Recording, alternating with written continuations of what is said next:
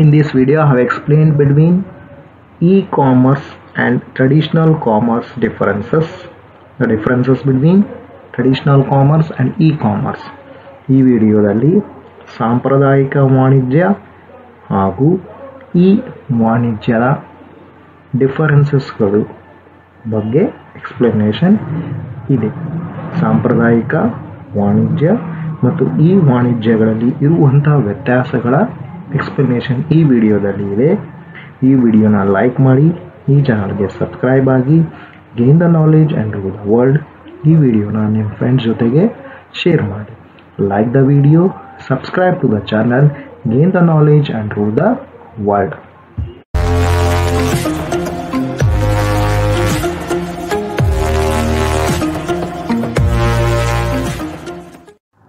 ಈ ವಿಡಿಯೋದಲ್ಲಿ ಸಾಂಪ್ರದಾಯಿಕ ವಾಣಿಜ್ಯ ಹಾಗೂ ಈ ವಾಣಿಜ್ಯಗಳ ಡಿಫರೆನ್ಸಸ್ ಎಕ್ಸ್ಪ್ಲನೇಷನ್ ಇದೆ. ಇ ಕಾಮರ್ಸು ಮತ್ತು ಟ್ರೆಡಿಷ್ನಲ್ ಕಾಮರ್ಸಲ್ಲಿರುವಂಥ ವ್ಯತ್ಯಾಸಗಳು ಯಾವ್ಯಾವು? ಟ್ರೆಡಿಷ್ನಲ್ ಕಾಮರ್ಸ್ ಇದನ್ನೇ ಕಮರ್ಷಿಯಲ್ ಟ್ರಾನ್ಸಾಕ್ಷನ್ ಅಂತ ಕರೀತಾರೆ. ಈ ಕಮರ್ಷಿಯಲ್ ಟ್ರಾನ್ಸಾಕ್ಷನಲ್ಲಿ ಮಾಹಿತಿಗಳ ವಿನಿಮಯ ಮಾಡಿಕೊಳ್ಳಲಾಗುತ್ತೆ. ಅದರ ಜೊತೆಗೆ ವಾಣಿಜ್ಯ ವ್ಯವಹಾರವನ್ನು ಮಾಡು ಮಾಡುವುದು ಇಲ್ಲಿ ವಾಣಿಜ್ಯ ವ್ಯವಹಾರ ಯಾವ್ಯಾವು ಅಂದರೆ ಪ್ರಾಡಕ್ಟ್ಸ್ನ ಬೈ ಮಾಡ್ಬೋದು ಅಥವಾ ಸೇವೆಯನ್ನು ಬೈ ಮಾಡುವುದು ಅಥವಾ ಸೆಲ್ ಮಾಡುವುದು, ಅಂದರೆ ಕೊಂಡುಕೊಳ್ಳುವುದು ಅಥವಾ ಮಾರುವುದು ಒಬ್ಬ ವ್ಯಕ್ತಿಯಿಂದ ಇನ್ನೊಬ್ಬ ವ್ಯಕ್ತಿಗೆ ಇಂಟರ್ನೆಟ್ ಯೂಸ್ ಮಾಡೋದೇ ಮುಖಾಂತರ. ಇ ಕಾಮರ್ಸಲ್ಲಿ ಇಲ್ಲಿ ವಾಣಿಜ್ಯ ವ್ಯವಹಾರವನ್ನು ಮಾಡುವುದು ಅಥವಾ ಮಾಹಿತಿಯನ್ನು ವಿನಿಮಯ ಮಾಡಿಕೊಳ್ಳುವುದು ಪ್ರತಿಯೊಂದು ವಸ್ತು ಅಥವಾ ಸೇವೆಯನ್ನು ಮಾರುವುದು ಅಥವಾ ಕೊಂಡುಕೊಳ್ಳುವುದನ್ನು ಎಲೆಕ್ಟ್ರಾನಿಕ್ ಮುಖಾಂತರ ಇಂಟರ್ನೆಟ್ಟನ್ನು ಉಪಯೋಗಿಸಿ ಮಾಡುತ್ತಾರೆ. ಟ್ರೆಡಿಷನಲ್ ಕಾಮರ್ಸಲ್ಲಿ ನೇರವಾಗಿ ಕೊಂಡುಕೊಳ್ಳುವವರು ಮತ್ತು ಮಾರುವವರ ಮಧ್ಯೆ ಇಂಟ್ರ್ಯಾಕ್ಷನ್ ಇರುತ್ತೆ. ಆದರೆ ಇ ಕಾಮರ್ಸಲ್ಲಿ ಕೊಂಡುಕೊಳ್ಳುವವರು ಮತ್ತು ಮಾರುವವರ ಮಧ್ಯೆ ಡೈರೆಕ್ಟಾಗಿ ಇಂಟರಾಕ್ಷನ್ ಇರೋದಿಲ್ಲ. ಇಲ್ಲಿ ಇಂಡೈರೆಕ್ಟ್ ಆಗಿ ಇಂಟರಾಕ್ಷನ್ ಇರುತ್ತೆ. ಇಂಡೈರೆಕ್ಟ್ ಇಂಟರಾಕ್ಷನ್ ಯಾವ ಮೂಲಕ ಆಗುತ್ತೆ ಅಂದರೆ ಎಲೆಕ್ಟ್ರಾನಿಕ್ ಮಾಧ್ಯಮ ಮೂಲಕ ಮತ್ತು ಇಂಟರ್ನೆಟ್ ಮುಖಾಂತರ ಸೆಲ್ಲರ್ಸು ಮತ್ತು ಬೈಯರ್ಸ್ ಅಂದರೆ ಕೊಂಡುಕೊಳ್ಳುವವರು ಮತ್ತು ಮಾರುವವರ ಮಧ್ಯ ವ್ಯಾವಹಾರಿಕ ಮಾಧ್ಯಮವಾಗಿ ಇಲ್ಲಿ ಎಲೆಕ್ಟ್ರಾನಿಕ್ ಮೀಡಿಯಾ ಅಥವಾ ಇಂಟರ್ನೆಟ್ ಮುಖಾಂತರ ಇಲ್ಲಿ ಇ ಕಾಮರ್ಸಲ್ಲಿ ಮಾರುವವರು ಮತ್ತು ಕೊಂಡುಕೊಳ್ಳುವವರು ವ್ಯವಹಾರವನ್ನು ಮಾಡುತ್ತಾರೆ. ಅದಕ್ಕೋಸ್ಕರ ಇಲ್ಲಿ ಇನ್ಡೈರೆಕ್ಟ್ ಇಂಟರಾಕ್ಷನ್ ಇರುತ್ತೆ. ಆದರೆ ಟ್ರೆಡಿಷನಲ್ ಕಾಮರ್ಸಲ್ಲಿ ಡೈರೆಕ್ಟ್ ಇಂಟರಾಕ್ಷನ್ ಇರುತ್ತೆ. ಅಂದರೆ ನೇರವಾಗಿ ಇಲ್ಲಿ ಮಾರುವವರು ಮತ್ತು ಕೊಂಡುಕೊಳ್ಳುವವರು ನೇರವಾಗಿ ಇಂಟರಾಕ್ಷನ್ ಮಾಡುತ್ತಾರೆ. ಆದರೆ ಇ ಕಾಮರ್ಸಲ್ಲಿ ನೇರವಾಗಿ ಇಂಟರಾಕ್ಷನ್ ಮಾಡುವುದಿಲ್ಲ. ನೇರವಾಗಿ ಇಂಟರಾಕ್ಷನ್ ಮಾಡುವ ಬದಲು ಇಲ್ಲಿ ಒಂದು ಎಲೆಕ್ಟ್ರಾನಿಕ್ ಮಾಧ್ಯಮ ಅಥವಾ ಇಂಟರ್ನೆಟ್ ಮುಖಾಂತರ ಅವರು ಪರಸ್ಪರ ಇಂಟರಾಕ್ಟ್ ಮಾಡುತ್ತಾರೆ the differences between the e commerce and the traditional commerce first in case of in traditional commerce it is uh, nothing but the commercial transaction or exchange of information where the buying or the selling of an product and the services will be done with the help of an uh, will be done without the help of an uh, internet that is here the products as well as the services will be bought or sold without using an internet from one person to an another person Traditional commerce refers to the commercial transaction or exchange of information, buying or selling of products and services from person to person without using an internet. Whereas in case of an e-commerce, it is a commercial transaction or exchange of information, buying and selling of products as well as the services electronically by using an internet. That is by using an internet. With the help of an internet here the transactions will be carried out of buying as well as the selling of an product or the services. Then the second difference. In cases when traditional commerce there will be a direct interaction between the buyer as well as the seller whereas in case of an e-commerce there is an indirect communication or an indirect interaction between the seller and an buyer by using an electronic medium and internet whereas here they will be physically present traditional ಕಾಮರ್ಸಲ್ಲಿ ಡೈರೆಕ್ಟಾಗಿ ಕೊಂಡುಕೊಳ್ಳುವವರು ಮತ್ತು ಮಾರುವವರ ಮಧ್ಯೆ interaction ಇರುತ್ತೆ ಆ, ಆದರೆ ಇಲ್ಲಿ E ಕಾಮರ್ಸಲ್ಲಿ direct interaction ಇರುವುದಿಲ್ಲ ಇಂಡೈರೆಕ್ಟ್ ಇಂಟರಾಕ್ಷನ್ ಇರುತ್ತೆ. ಈ ಇಂಡೈರೆಕ್ಷನ್ ಇಂಟರಾಕ್ಷನ್ ಯಾವ ಮುಖಾಂತರ ಆಗುತ್ತೆ ಅಂದರೆ ಎಲೆಕ್ಟ್ರಾನಿಕ್ ಮಾಧ್ಯಮ ಮುಖಾಂತರ ಮತ್ತು ಇಂಟರ್ನೆಟ್ ಮುಖಾಂತರ ಆಗುತ್ತೆ. ಆದರೆ ಇಲ್ಲಿ ಪರಸ್ಪರವಾಗಿ ಎದುರು ಬದುರು ವ್ಯವಹಾರವನ್ನು ಮಾಡುತ್ತಾರೆ ಯಾವುದು traditional ಕಾಮರ್ಸಲ್ಲಿ there will be an direct interaction between the seller as well as the buyer whereas here it will be an indi- indirect interaction between the seller and the buyer by using an electronic medium and internet next differences between traditional commerce and e-commerce traditional commerce ಅಲ್ಲಿ ಪರಸ್ಪರ ಒಬ್ಬರು ಇನ್ನೊಬ್ಬರು direct ಆಗಿ ವ್ಯವಹಾರ ಮಾಡುತ್ತಾರೆ ಅಂದರೆ telephone ಮುಖಾಂತರ ಮಾಡುತ್ತಾರೆ. ಅಥವಾ ಇಮೇಲ್ ಅಥವಾ ಮೇಲ್ ಮುಖಾಂತರ ಟ್ರೆಡಿಷ್ನಲ್ ಕಾಮರ್ಸಲ್ಲಿ ವ್ಯವಹಾರವನ್ನು ಮಾಡುತ್ತಾರೆ.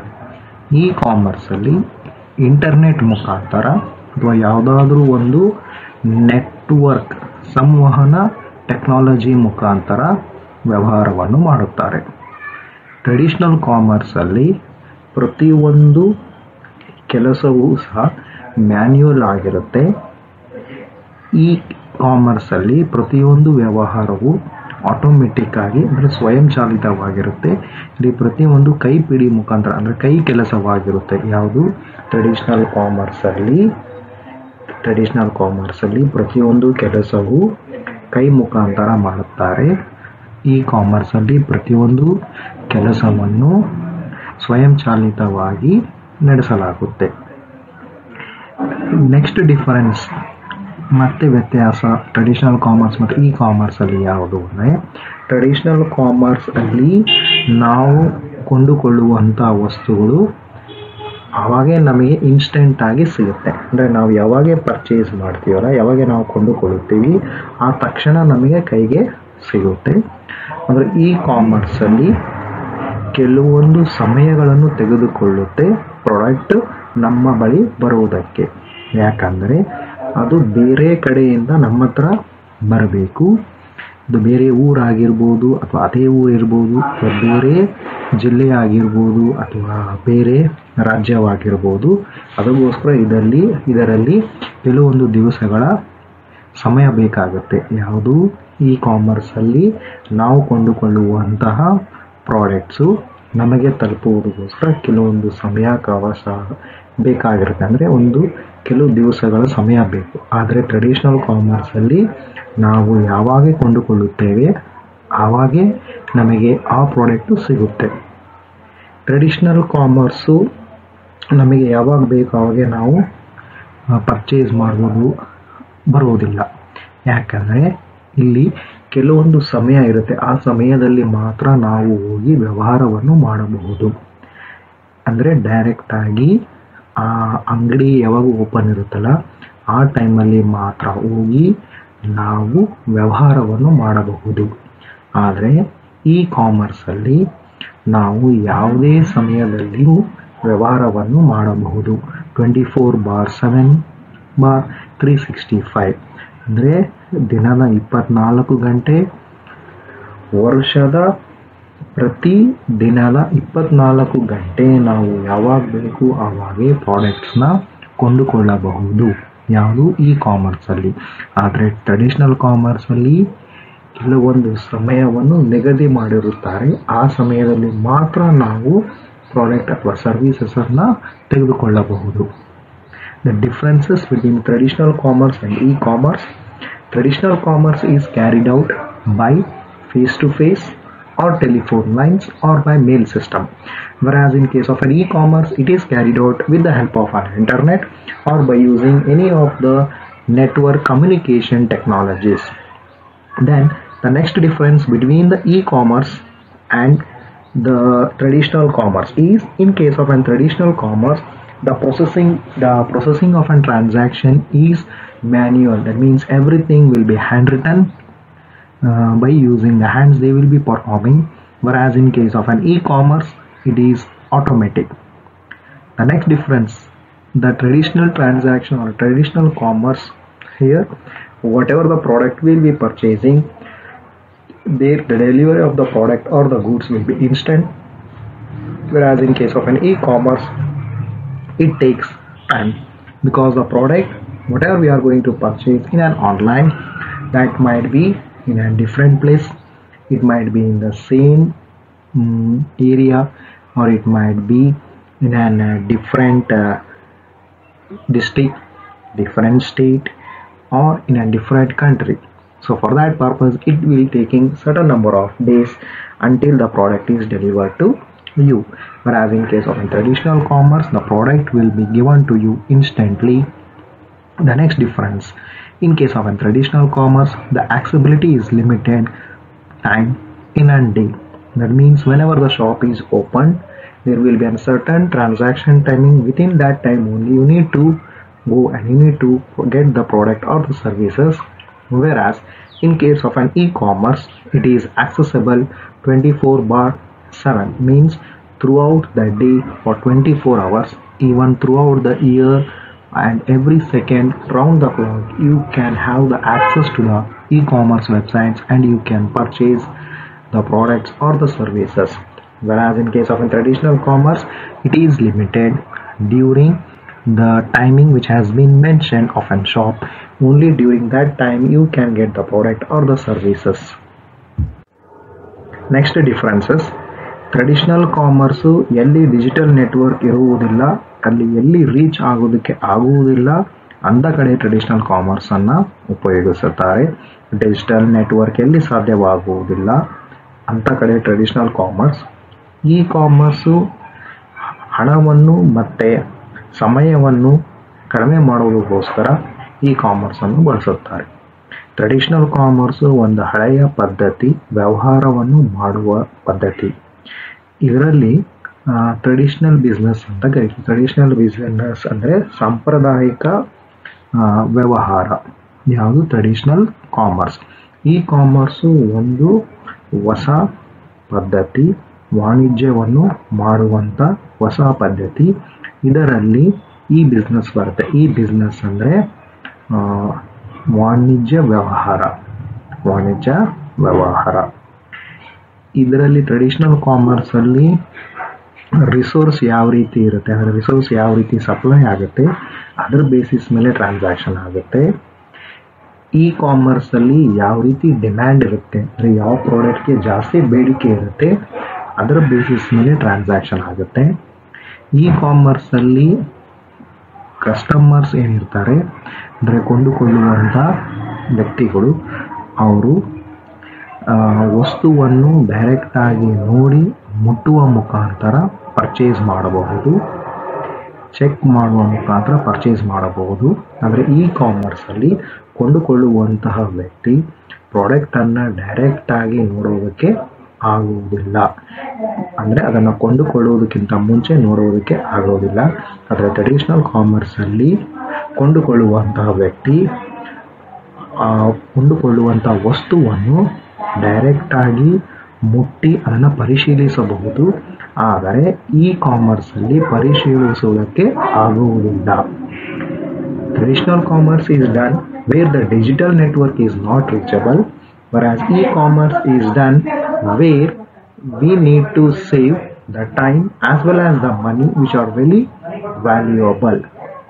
ಸಮಯ ಮತ್ತು ಹಣ ಬಹಳಷ್ಟು ಮುಖ್ಯ. ಅದನ್ನು ಉಳಿಸುವ ಸಲುವಾಗಿ ಇ ಕಾಮರ್ಸ್ ಅನ್ನು ಮಾಡಲಾಗುತ್ತೆ. Traditional commerce is an older method of business style and which comes under traditional business.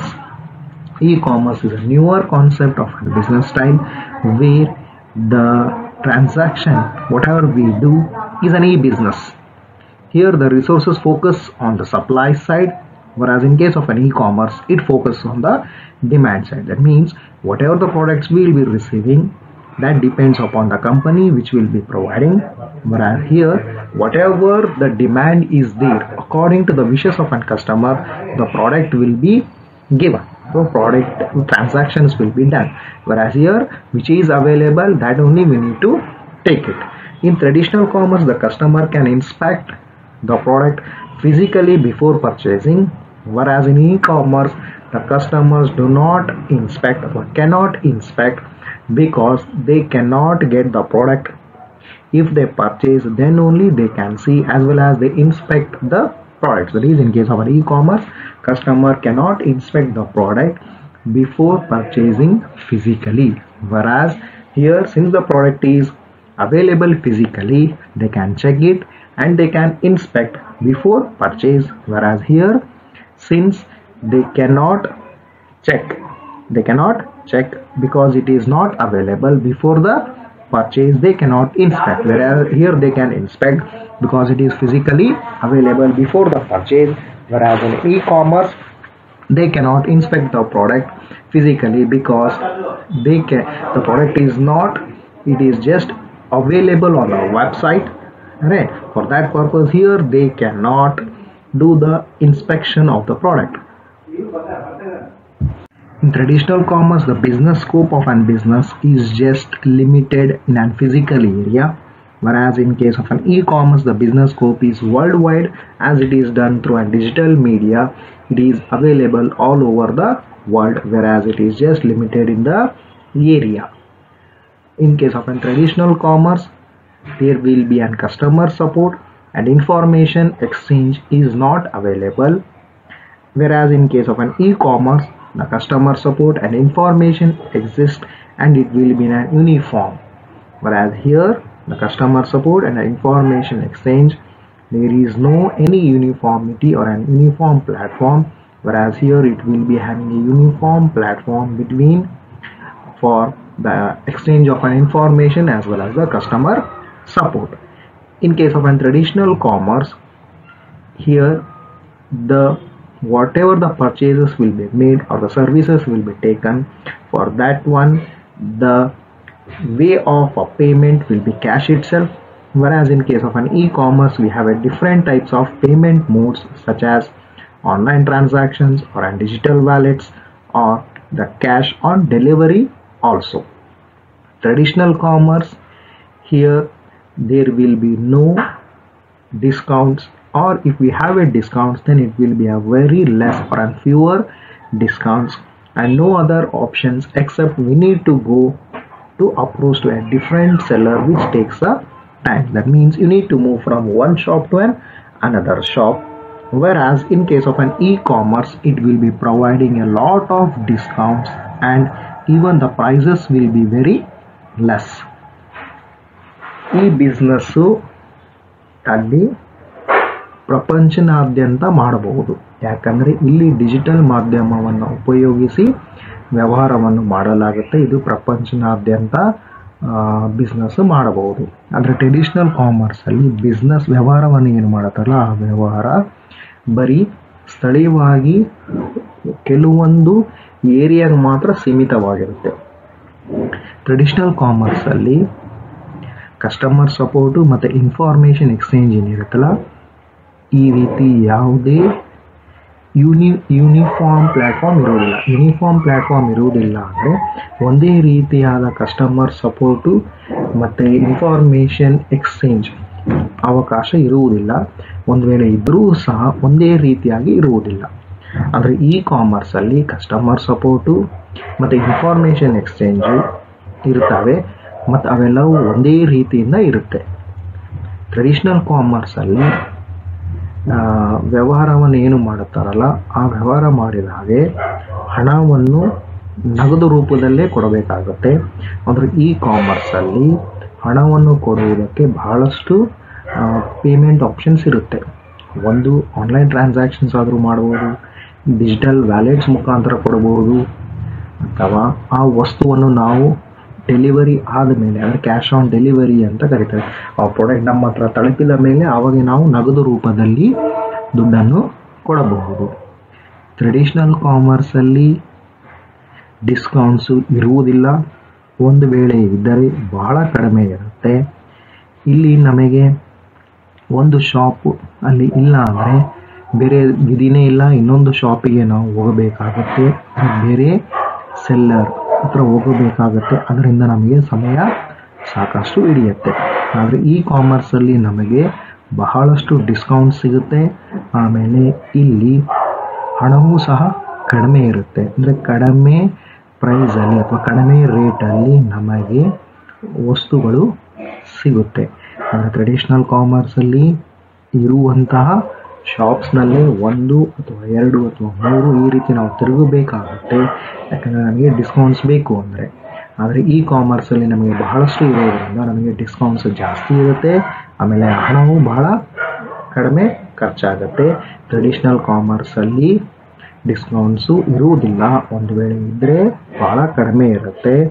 ಇಲ್ಲ ಅಂದರೆ ಬೇರೆ ವಿಧಿನೇ ಇಲ್ಲ. ನಾವು ಬೇರೆ ಆ, ಅಂಗಡಿಗೆ ಹೋಗಬೇಕಾಗತ್ತೆ ಅದರಿಂದ ಸಮಯ ಮತ್ತೆ ಜಾಸ್ತಿ ತೆಗೆದುಕೊಳ್ಳುತ್ತೆ Traditional commerce does not provide a return policy until there is a damage in the product because here the customer will be inspecting the product before purchase itself physically for that purpose the return options will not be there and a few of the shops will provide the return only if there is a damage in the product.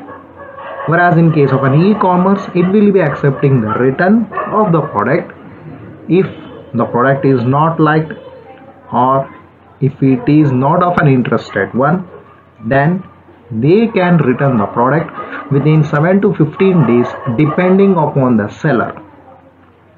Few sellers will be providing 7 days. Few sellers will be providing 15 days and some sellers will not be providing a return policy also. Traditional commerce has a limited number of products with a particular seller as the space is limited because it will be occupying a physical space in whatever the products they can keep in that physical space. Only those number of products will be available. Therefore it will be a limited number of products. Whereas in case of an e-commerce here we'll be having a lot of products and there will be even a wide variety of products and different brands as well as the types of the products are also available. Means a wide variety of products are available in case of an e-commerce whereas in case of a traditional commerce limited number of product even the brands will also be very limited. Traditional commerce is a cost effective as it requires the space for display and showcase of the products to attract the customers. Whereas in case of an e-commerce here the warehouse is enough to store the goods. That is just a godown is enough for the purpose of storing the products or an goods. Whereas here for the purpose of storing a product as well as they need to make it effective to attract the customers for that purpose they need to show cost as well as display those products so here it will be a more cost whereas here in case of an e-commerce it will be an less cost these are the differences between the traditional commerce and the e-commerce traditional ಕಾಮರ್ಸಲ್ಲಿ ಯಾವುದೇ ರೀತಿಯಾದ ಹಿಂತಿರುಗುವಿಕೆ policy ಇರುವುದಿಲ್ಲ ಒಂದು ವೇಳೆ ಹಿಂತಿರುಗಿಸಬೇಕಾದ್ರೆ ಆ product ನಾವೇನು purchase ಮಾಡಿರ್ತೀವಲ್ಲ ಅದು ಏನಾದರೂ ಡ್ಯಾಮೇಜ್ ಆಗಿದ್ದರೆ ಮಾತ್ರ ಆ ಪ್ರಾಡಕ್ಟನ್ನು ಹಿಂತಿರುಗಿಸಲು ಕೊಡಬಹುದು. ಯಾಕೆಂದರೆ ಇಲ್ಲಿ ನಾವು ಕೊಂಡುಕೊಳ್ಳೋಕ್ಕಿಂತ ಮುಂಚೆನೇ ಅದನ್ನು ಸರಿಯಾಗಿ ಸೂಕ್ಷ್ಮವಾಗಿ ಗಮನಿಸಿ ತೆಗೆದುಕೊಂಡಿರುತ್ತೇವೆ. ಅದರ ಸಲುವಾಗಿ ಇಲ್ಲಿ ಹಿಂತಿರುಗಿಸುವುದಕ್ಕೆ ಅವಕಾಶ ಭಾಳ ಕಡಿಮೆ. ಹಿಂತಿರುಗಿಸಿ ಕೊಡಬಹುದು ಯಾವಾಗ ಆ ಪ್ರಾಡಕ್ಟ್ ಒಂದು ವೇಳೆ ಏನಾದರೂ ಡ್ಯಾಮೇಜ್ ಆಗಿದ್ದರೆ ಇ ಕಾಮರ್ಸಲ್ಲಿ ನಾವು ಹಿಂತಿರುಗಿಸಬಹುದು. ಯಾವಾಗೇ ಅಂದರೆ ಒಂದು ವೇಳೆ ನಾವು ಕೊಂಡುಕೊಳ್ಳಿರುವಂಥ ಪ್ರಾಡಕ್ಟು ನಮಗೆ ಇಷ್ಟ ಆಗಿಲ್ಲ ಅಂದರೆ, ಅಥವಾ ಅದೇನಾದರೂ ನಮಗೆ ಹಿಡಿಸಲಿಲ್ಲ ಅಂದರೆ, ಅದನ್ನು ನಾವು ಹಿಂತಿರುಗಿಸಬಹುದು. ಹಿಂತಿರುಗಿಸುವುದರ ಸಮಯ ಅವಕಾಶ ಏಳರಿಂದ ಹದಿನೈದು ದಿನಗಳಿರುತ್ತೆ. ಅದು ಸೆಲ್ಲರ್ ಮೇಲೆ ಡಿಪೆಂಡ್ ಆಗಿರುತ್ತೆ. ಕೆಲವೊಂದು ಸೆಲ್ಲರ್ ಏಳು ದಿನಗಳ ಅವಕಾಶ ಕೊಡುತ್ತಾರೆ, ಕೆಲವೊಂದು ಸೆಲ್ಲರ್ ಹದಿನೈದು ದಿನಗಳ ಅವಕಾಶ ಕೊಡುತ್ತಾರೆ ಕೆಲವೊಂದು ಸೆಲ್ಲರ್ ಅವಕಾಶ ಕೊಡುವುದಿಲ್ಲ. ಟ್ರೆಡಿಷ್ನಲ್ ಕಾಮರ್ಸಲ್ಲಿ ಬಹಳ ಕಡಿಮೆ ಪ್ರಾಡಕ್ಟ್ಸ್ ಇರುತ್ತೆ. ಯಾಕಂದರೆ ಇಲ್ಲಿ ಸೆಲ್ಲರ್ಗೆ ಸ್ಪೇಸ್ ಬೇಕಾಗಿರುತ್ತೆ. ಆ ಸ್ಪೇಸ್ ಕಡಿಮೆ ಇರುತ್ತೆ. ಆದರೆ ಇ ಕಾಮರ್ಸಲ್ಲಿ ನಮಗೆ ಬಹಳಷ್ಟು ಪ್ರಾಡಕ್ಟ್ಸ್ ಅಥವಾ ವಸ್ತುಗಳು ಇರುತ್ತವೆ. ಆಮೇಲೆ ಬಹಳಷ್ಟು ರೀತಿಯಾದ ವೆರೈಟೀಸ್ ಆದ ಬ್ರ್ಯಾಂಡ್ಸು ನಮಗೆ ಲಭ್ಯವಿರುತ್ತೆ. ಅಂದರೆ ಟ್ರೆಡಿಷ್ನಲ್ ಕಾಮರ್ಸಲ್ಲಿ ಬಹಳ ಕಡಿಮೆ ಸಂಖ್ಯೆಯಲ್ಲಿ ನಾವು ಪ್ರಾಡಕ್ಟ್ಸ್ ಅಥವಾ ವಸ್ತುಗಳನ್ನು ನೋಡಬಹುದು. ಟ್ರೆಡಿಷ್ನಲ್ ಕಾಮರ್ಸು ಬಹಳ ಖರ್ಚಾಗುತ್ತೆ. ಯಾಕಂದರೆ ಅವರು ವ್ಯವಹಾರ ಕುದುರಿಸ್ಕೋಬೇಕು ಅಥವಾ ಕಸ್ಟಮರ್ನ ಅಟ್ರ್ಯಾಕ್ಟ್ ಮಾಡಬೇಕು ಅನ್ನೋ ಸಲುವಾಗಿ ಅವರು ಅದನ್ನೆಲ್ಲವನ್ನು ಪ್ರದರ್ಶನ ಮಾಡಬೇಕು. ಪ್ರದರ್ಶನ ಮಾಡುವ ಸಲುವಾಗಿ ಅವರಿಗೆ ಖರ್ಚಾಗುತ್ತೆ. ಅಂದರೆ ಇ ಕಾಮರ್ಸಲ್ಲಿ ಯಾವುದೇ ರೀತಿಯಾದ ಪ್ರದರ್ಶನ ಮಾಡುವ ಅವಶ್ಯಕತೆ ಇರುವುದಿಲ್ಲ. ಜಸ್ಟ್ ಅವರಿಗೆ ಒಂದು ಗೋಡೌನ್ ಇದ್ದರೆ ಸಾಕು. ಅದರ ಟ್ರೆಡಿಷ್ನಲ್ ಕಾಮರ್ಸಲ್ಲಿ ಗೋಡೌನು ಬೇಕು. ಅದರ ಜೊತೆಗೆ ಅವರು ತಮ್ಮಲ್ಲಿರುವಂಥ ವಸ್ತುಗಳನ್ನು ಪ್ರದರ್ಶನ ಮಾಡಬೇಕಾಗತ್ತೆ. ಆ ಪ್ರದರ್ಶನ ಮಾಡೋದಕ್ಕೋಸ್ಕರ ಅವ, ಅವರಿಗೆ ಸ್ಥಳವೂ ಬೇಕು. ಅದರ ಜೊತೆಗೆ ಸ್ಪೇಸ್ ಅಂದರೆ ಏನು? ಜಾಗ ಬೇಕು. ಅದೆಲ್ಲವುದರಿಂದ ಅವರಿಗೆ ತಮ್ಮ ಅವರಿಗೆ ಸ್ವಲ್ಪ ಜಾಸ್ತಿ ಹಣ ವ್ಯಯ ಮಾಡಬೇಕಾಗತ್ತೆ. ಆದರೆ ಇ ಕಾಮರ್ಸಲ್ಲಿ ಒಂದು ಗೋಡೌನ್ ಇದ್ದರೆ ಸಾಕು. ಅವರು ಎಲ್ಲ ಪ್ರಾಡಕ್ಟ್ಸ್ನು ಸ್ಟೋರ್ ಮಾಡಬಹುದು. ಇವಿಷ್ಟು ಡಿಫರೆನ್ಸಸ್ ಬಿಟ್ವೀನ್ ಟ್ರೆಡಿಷ್ನಲ್ ಕಾಮರ್ಸ್ ಮತ್ತು ಇ ಕಾಮರ್ಸ್